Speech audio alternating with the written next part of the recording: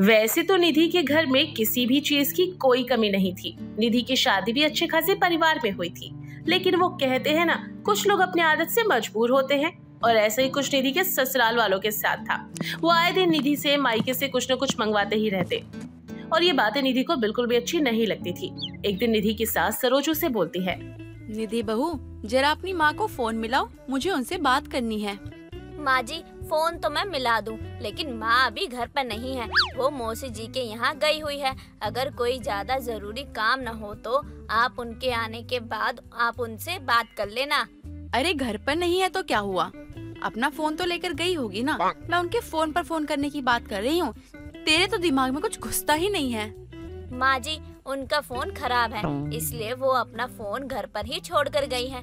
आखिर कौन सी बात है जो आप मेरी माँ से बात करने के लिए इतनी परेशान हो रही हैं? चल ठीक है कोई बात नहीं। लेकिन एक बात बता तेरी मौसी तो सूरत में रहती है ना? हाँ जी मेरी मौसी सूरत में ही रहती है लेकिन आप ऐसा क्यों पूछ रही हैं? मैंने सुना है सूरत में बहुत अच्छी साड़ियाँ मिलती हैं।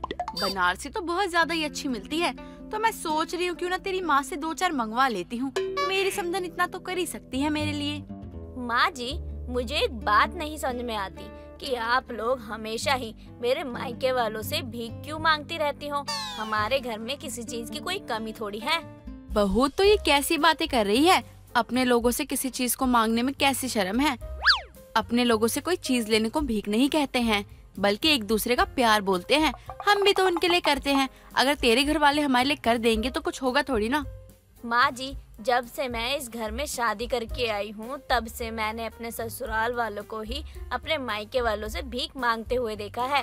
कभी किसी चीज़ के लिए, कभी किसी चीज़ के लिए, कभी आप लोगों को उनके लिए करते नहीं देखा मैंने। माना कि मैं ज़ुबान की कड़वी हूँ, लेकिन जो बात बोलती हूँ, वो मैं सच ही बोलती हूँ। अब आपको बुरा लगे या भला? बहू, तुम ज़रूरत से ज़्यादा बोल रही हो। मैंने तुम्हें तुम्हारी माँ को फ़ोन लगाने के लिए बोला है। जिस पर तुमने मुझे इतना लेक्चर दे दिया। अब तुम फ़ोन लगा रही हो या मैं खुद लगा लूँ? और तुम्हारी कही सारी बातें तुम्हारी माँ से बोल दूँ। नहीं माँ जी, ऐसा मत करिए। मैं अभी माँ को फ़ोन लगा देती हूँ। अगर आप उनसे कुछ बोलेंगी तो वो बिना बात के मुझे सुनाने लगेगी। मैं तो अपने ससुराल वालों की इज़्ज़त के लिए ही बोल रही हूँ। लेकिन जब अभी लोगों को ही अपनी इज़्ज़त की नहीं पड़ी है तो मैं क्या ही कर सकती हूँ? निधि इतना कहकर अपनी माँ का फ़ोन मिला देती है, जिसके बाद निधि की माँ से बात करके वो बहुत सारी सूरत से साड़ियाँ मंगवा लेती है और उन्हें पैसे भी नहीं देती। ये जो चीज़ें निधि को बिल्कुल भी अच्छी नहीं लगती थी, लेकिन वो चाह कर भी कुछ नहीं कर पा रही थी, क्योंकि ना ही उसके मायके वाले कुछ बोलते और ना ही उसके ससुराल वाले इस बात को मानने के लिए तैयार होते। एक दिन वो गुस्से में अपने कमरे में बैठी थी। तभी उसका पति दीपक वहाँ पर आता है और उससे बोलता है, क्या बात है मैडम जी, गुस्से में क्यों? कुछ बवाल हो गया क्या? घर में कुछ भी बवाल नहीं हुआ है, लेकिन अगर आप लोग ऐसे ही मेरे मायके वालों से छोटी छोटी चीज़ भीख में मांगते रहेंगे तो बवाल ज़रूर हो सकता है। अरे तुम कहना क्या चाहती हो? साफ़ साफ़ बोलो। और तुम्हारे घर वालों से भीख में ऐसा क्या मांग लिया हमने, जो तुम्हें गुस्सा आ गया? ये पूछिए कि क्या नहीं किया? बिना बात के माँ जी ने मेरी मौसी जी से बनारस से साड़ियाँ मंगवा ली जिसके बाद मेरी मौसी की लड़की मुझे फ़ोन करके बोल रही है कि, दीदी, आपके ससुराल वाले हमेशा अपने माइको वालों से भीख मांगते रहते हैं क्या? उनके पास कुछ है नहीं क्या? अरे, इसमें भीख मांगने वाली क्या बात है? अरे, बनारस की साड़ियाँ बहुत अच्छी होती है, इसलिए मंगवाई होंगी। अरे तो मामा जी से मंगवाने चाहिए ना? वो भी तो बनारस में ही रहते हैं। ज़रूरी है कि मेरे मायके वालों से ही बोलकर मंगवाना। बस बहुत हो गया। अब मैं ज़्यादा दिन बर्दाश्त नहीं कर पाऊँगी, क्योंकि मुझे लोगों के ताने सुनना बिल्कुल भी बर्दाश्त नहीं है। आप लोग जितनी जल्दी ये बात समझ ले तो अच्छा होगा। निधि इतना कहकर वहाँ से चली जाती है। दिन बीतते हैं। तभी एक दिन दीपक के लिए उसके ससुराल में एक बहुत बड़ी गाड़ी आती है, जिसे देखकर निधि की आँखें खुल जाती हैं। और वो दीपक से पूछती है। दीपक जी पापा जी ने आपको ये गाड़ी क्यों भिजवाई है? बल्कि वो तो दहेज में पहले ही आपको चार पहिए दे चुके हैं। हाँ यार दे चुके हैं। लेकिन शादी गाँव में हुई थी तो गाँव में दिया था ना? यहाँ थोड़ी दिया था। और वैसे मैंने मांगा नहीं था उनसे। और बात यह है ना कि कल जब मैं ऑफ़िस पहुँचा तो पापा जी का फ़ोन आया। मैंने बात की तो कह रहे परेशान लग रहे हो। तो मैंने उनको परेशानी बता दी कि मेरे पास तो गाड़ी है नहीं। तो ऑफ़िस आने में देर हो जाती है। अब देर होती है तो बॉस बहुत सुनाता है। वो सुनाता है तो मुझे गुस्सा आता है। गुस्सा आता है तो गुस्से में कुछ कर नहीं सकता, इसलिए परेशान हो जाता हूँ। तो उन्होंने कहा कि, दामाद जी, आपको चिंता करने की कोई ज़रूरत नहीं है। मैं कल ही गाड़ी भिजवा रहा हूँ आपके लिए। और उन्होंने ये गाड़ी भिजवा दी। अच्छा उन्होंने भिजवा दी तो आपने ले भी ली। आपको जरा सी भी शर्म नहीं आई क्या? इसमें शर्म क्या करना? अरे वो तुम्हारे ही पापा थोड़ी है। वो तो मेरे भी पापा जी है ना। और वो प्यार से कुछ दे रहे हैं। तो मैं मना करके उनका दिल दुखाऊँगा। अच्छा थोड़ी लगेगा। अरे तो एक बार बोल तो सकते थे ना कि नहीं पापा जी आप गाड़ी वापस ले लीजिए। मैं यहाँ गाँव से अपनी गाड़ी मंगवा लूँगा। या तो यहाँ के लिए मैं खुद खरीद लूँगा। अरे मैं उनकी बहुत इज़्ज़त करता हूँ। मैं भला उन्हें किसी भी चीज़ के लिए मना कैसे कर सकता हूँ? और वैसे भी वो जो कुछ भी देते हैं ना वो अपनी बेटी के लिए देते हैं। आज तक आप लोगों जैसा भिखारी नहीं देखा मैंने। फ़र्क बस इतना है कि भिखारी बोलकर भीख माँगता है कि मुझे भीख दे दो और आप लोग उस पर तोहफा नाम का पर्दा डालकर भीख मांग रहे हो। पता नहीं मेरे माँ पापा ने किस भिखारी घर में मेरी शादी कर दी है, जो शादी से लेकर अब तक मांगते ही आ रहा है। निधि, अपनी ज़ुबान को संभाल के बात किया करो। अब ये मत भूलो कि ये घर भी तुम्हारा है।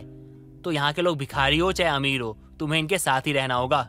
मुझे दुख ही इसी चीज़ का है कि अगर आप लोग सच में भिखारी होते या कोई चीज़ नहीं ले सकते, तब आप लोग मेरे घर वालों से मांगते तो मुझे बुरा नहीं लगता, लेकिन हर चीज़ से संपन्न होने के बाद भी आप लोग की लालच खत्म नहीं हो रही है। इस चीज़ का दुख है मुझे। निधि के बहुत समझाने के बाद भी उसके ससुराल वाले उसकी बात नहीं सुनते थे। आए दिन उसके मायके से वो किसी न किसी बहाने से कुछ न कुछ मंगवाते ही रहते। समय के साथ अपनी आदतों में सुधार न लाने के कारण सच में उन लोगों की भीख मांगने की नौबत आ जाती है। दीपक की नौकरी चली जाती है और गाँव के घर और ज़मीन सब कुछ घर वाले धोखे से कब्जा कर लेते हैं। जैसे तैसे वो शहर के घर पर लोन लेकर काम करना शुरू करता है, लेकिन वो पैसे भी डूब जाते हैं और उन्हें घर से बेघर होना पड़ता है। तभी एक दिन दीपक अपनी माँ से बोलता है, माँ अगर पंद्रह दिन के अंदर हमने घर पे उठाया हुआ लोन भरा नहीं तो हमें घर खाली करना होगा। लेकिन बेटा हम कहाँ जाएँगे? अगर हम ये घर खाली कर देंगे हमारे गाँव वाले घर पे केस चल रहा है और किराए पे रहने के लिए हमारे पास पैसे ही नहीं है। मैं देखता हूँ माँ कोई जुगाड़ लगाता हूँ और क्या ही करूँगा। ये सब कुछ बहू की वजह से हुआ है। बहू पूरे दिन अपने ससुराल को भिखारी ससुराल बोलती रहती है। देखो, सच में उसका ससुराल भिखारी हो गया। घर की लक्ष्मी होके अगर वो हमेशा ही ऐसे बोलती रहेगी तो क्या ही होना था? इसलिए हम सच में ही भिखारी हो गए। माँ, निधि को कुछ मत कहिएगा। उसकी कोई गलती नहीं है। वो सही कह रही थी, एक लड़की शादी करके एक घर से दूसरे घर जाती है। वो बस इतना ही चाहती है कि वहाँ उसको इज़्ज़त मिले। और उसके ना पति का, उसकी सास का, उसके पूरे घर का सम्मान हो। लेकिन हमने क्या किया माँ? हमने उसके घर वालों से चीज़ें मांग मांग कर उसकी बेइज्जती करवाते रहे। लोग उसको ताना सुनाते थे और हम लोग हम लोग बेशर्मों की तरह चीज़ें मांगते थे। शायद तू सही कह रहा है बेटा। हमने घर की लक्ष्मी की बेइज्जती की है, इसलिए हमारे पास लक्ष्मी नहीं रुकी है। अपने पति और सास की बातें सुनकर दूर खड़ी निधि सुन रही थी, जिसे सुनकर उसे खुशी होती है कि उसके ससुराल वालों को अपनी गलती का एहसास होता है और अपनी गलती पर पछता रहे होते हैं। इसके बाद निधि अपने कमरे में जाती है और अपनी सारी सेविंग निकाल कर दीपक को दे देती है, जिससे वो घर का लोन उतार देता है। कुछ टाइम बाद उसे वापस से नौकरी मिल जाती है। धीरे धीरे उनके ससुराल में सब कुछ पहले की तरह हो जाता है, सिवाय ससुराल वालों से भीख मांगने की आदत को छोड़कर।